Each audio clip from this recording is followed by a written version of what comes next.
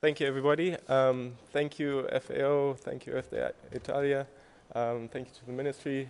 It's a great opportunity to be here. Um, it's a great day to be talking about the environment. Um, we definitely have to raise the profile on all our environmental issues.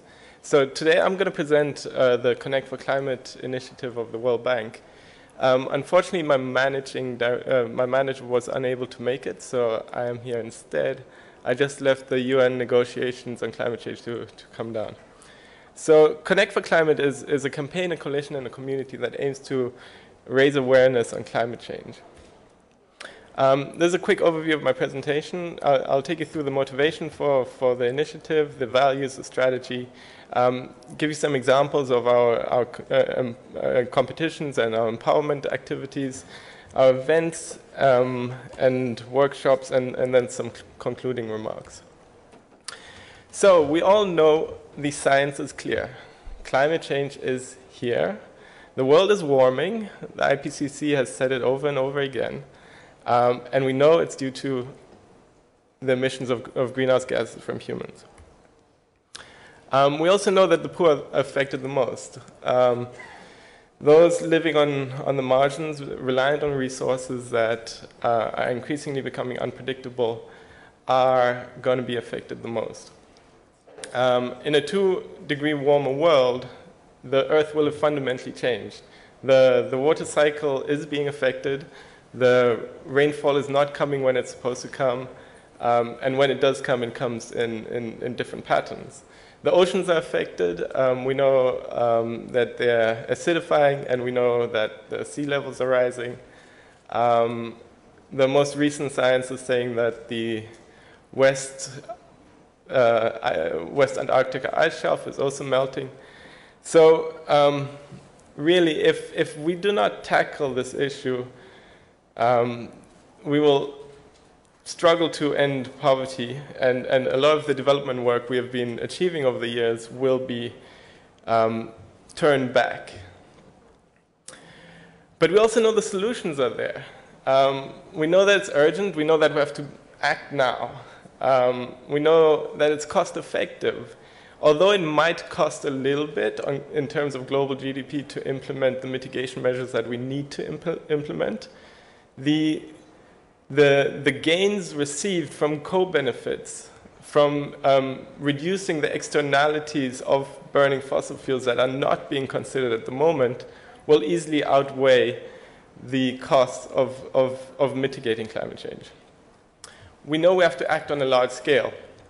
Um, the IPCC tells us that to achieve some of the targets it, it's projecting, we have to treble or quadruple low carbon energy by 2050.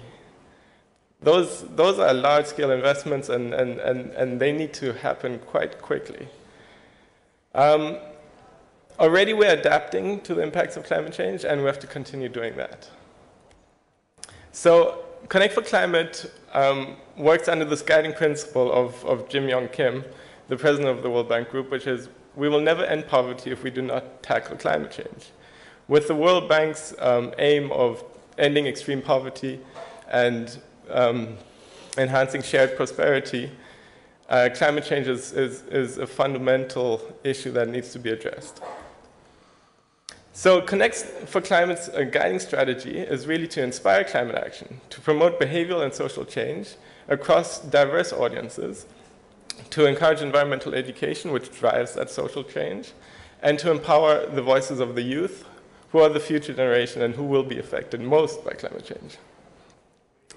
Um, we and almost 300 partners um, act to empower the youth, which in turn act as voices for the 7 billion people out there. And, and, and by giving them a platform and amplifying their messages, a lot of these are also from communities and from the rural areas, um, their wishes are being pushed onto the private sector who are innovating to deliver more sustainable products. And in parallel, their voices are affecting the policymakers who are, who are putting in, uh, who are implementing the policies that will encourage more sustainable practices. And the policymakers also have a feedback loop back onto the private sector. But really, Connect for Climate stands there to, to amplify and engage a broader network of, of climate actors. We don't try to replicate what's happening out there already. There's a lot of great work. Um, I'm thinking of Cittadinanza Attiva. I'm thinking of uh, Earth Italia. Um, there's fantastic work, and we really want to put it out there and, and amplify it. So over the last couple of years, we've run a number of campaigns from um, working with communities in Africa for photo and video competitions to um, working with the private sector, for example, the, the Lego Build the Change initiative, where we brought together 4,000 children to build their sustainable cities and their visions of the future, to the advertisement industry, where um, youth were encouraged to make climate change adverts, um, to the fashion industry, and increasingly now also with the cities and regional networks. Um, so just to give you an example of our latest campaign, the Action for Climate documentary film competition, these are some of their stories. And if we could play the video, that would be fantastic.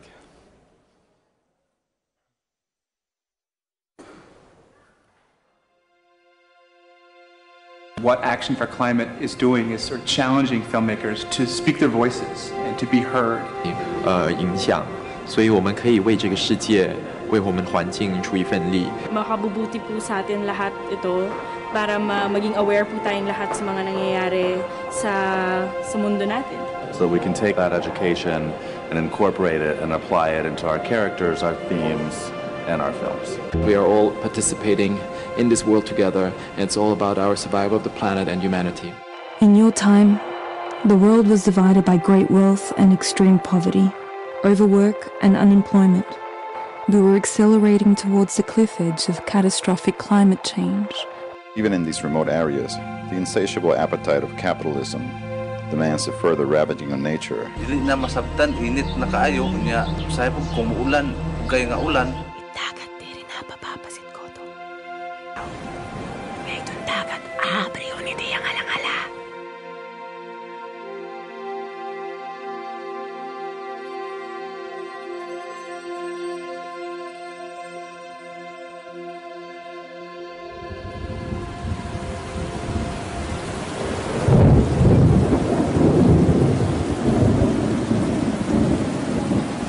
Hope that our efforts can inspire others and be used as a model to achieve energy independence. After all, we want to work with the Earth in all that we do.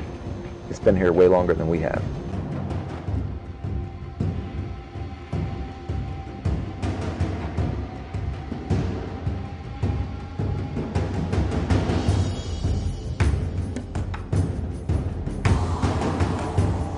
There is always a day in history when words become actions. Climate change is a wake-up call.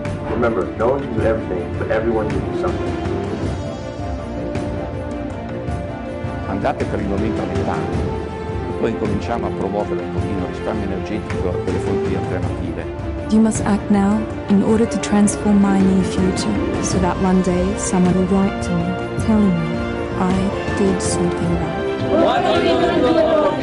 It is very important to educate our young children to the important aspects of taking care of our environment, then the whole problem of our climate change.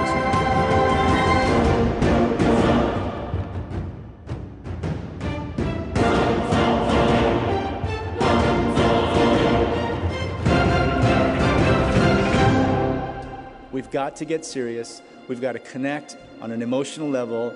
The, the young people here today know that they're going to be living in a time that's unrecognizable today. We have to listen to them. We have to listen to the scientists, but we have to connect.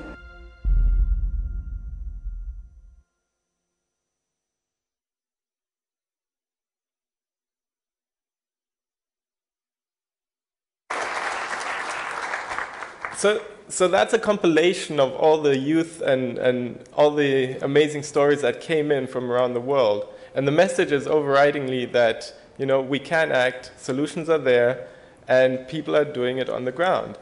Um, this is where we, we can learn a lot of lessons from the mountains and, and from the rural areas. Uh, one example being uh, organic farming. We, we, we see how that is revolutionizing the, the way we're producing our food.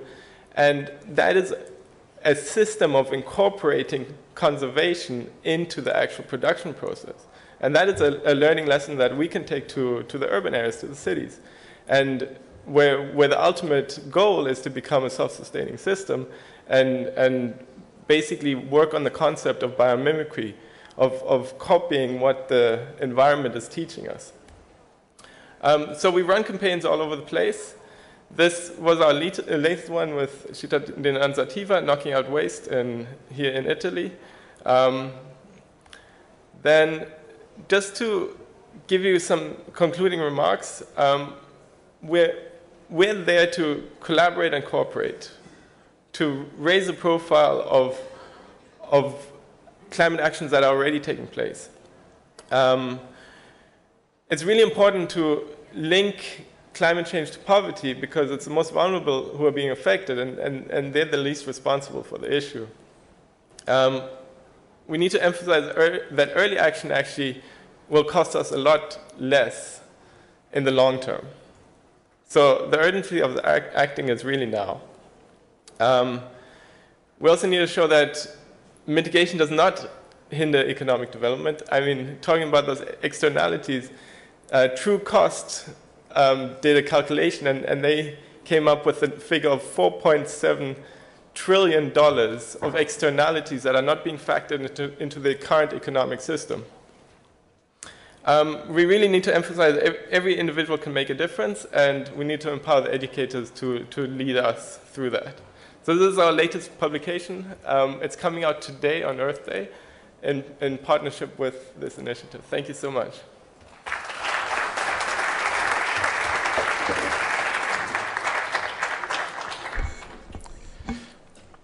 Credo che la, vedere assieme ai cambiamenti climatici e la parola anche povertà ci debba far riflettere molto anche sulla eh, ciò che avviene anche sui nostri mari, certi arrivi sulle nostre coste che sempre più non sono dovute a eh, solo questioni politiche, ma anche a un mix di questioni politiche, questioni ambientali, questioni di eh, cambiamenti anche climatici. E credo che questo sia un tema che ci riporta indietro, eh, scusate se gli do del tuo ai Doronghi, ma lo conosciamo, lo con ci conosciamo da, da tantissimo tempo, quando si cominciava a riflettere sui temi pace, ambiente, mi viene in mente Alex Langer che eh, non finiremo mai di rimpiangere, ma tante altre persone che allora cominciavano questo cammino del mondo ambientalista per fortuna poi sono finiti anche a fare il ministro. Eh, non lo dico io che mm, ci manca molto, anche se alcune leggi sono ancora lì, magari non completamente applicate purtroppo. Eh, ecco, un cammino lungo, no? Sviluppo sostenibile, pace, cambiamenti climatici, quante cose si ritrovano da allora in poi.